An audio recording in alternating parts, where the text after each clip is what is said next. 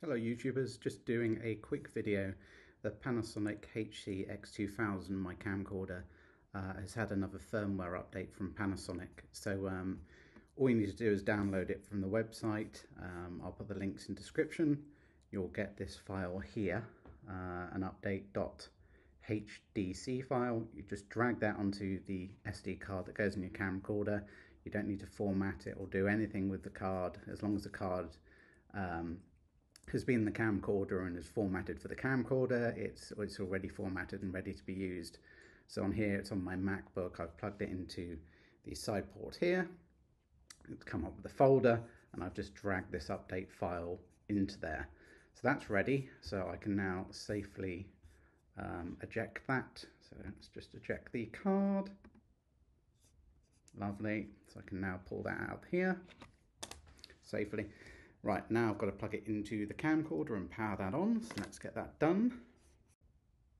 Okay, so we're now into part two. Um, so the card is in slot A, it needs to be in slot A for this process to work. So let's just power the camera on. Okay, so then we need to bring up the menu. I haven't used this camera in a while. The menu, as I remember, is in a weird place. I think I can just double tap.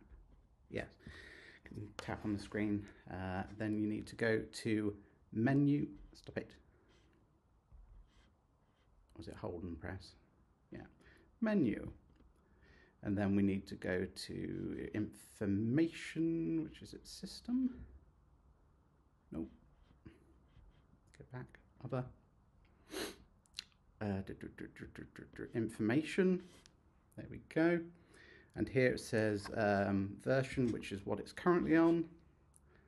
It says 1.4 and the download is 1.6. So we'll just go back, update, yes.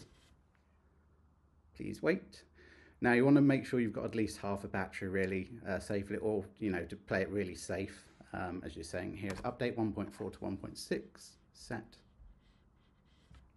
Um, even safer, obviously, plugging into the mains. But this is the update process in real time.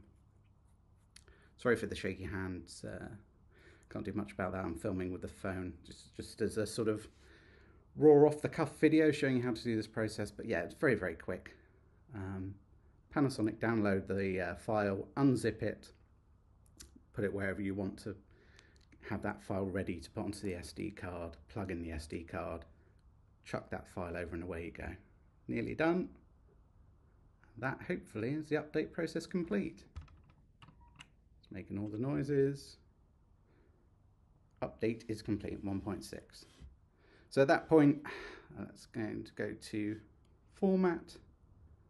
I'll just get rid of the um, file, well, format the card.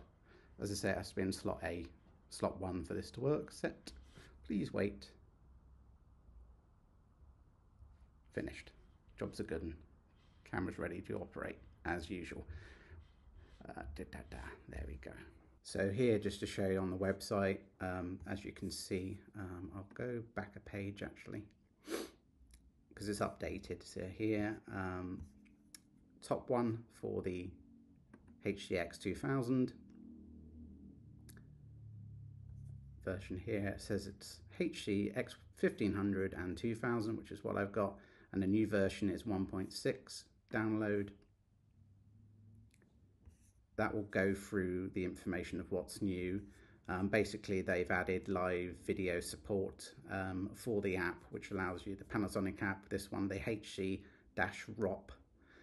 Weird naming of Panasonic, don't get me started on that. Um, when you've got the app, you can now use it to um, see the camcorder in live view and then it's just sort of bug fixes and, and the like. But uh, yeah, once you, you're happy that you want to do that, you go to the bottom of the page, agree, download, which I don't need to do because I've already done, and you'll get that zip file, and then you just un, um, what's it called, unzip it, and then just copy the raw file directly to uh, your SD card. Hope that helps.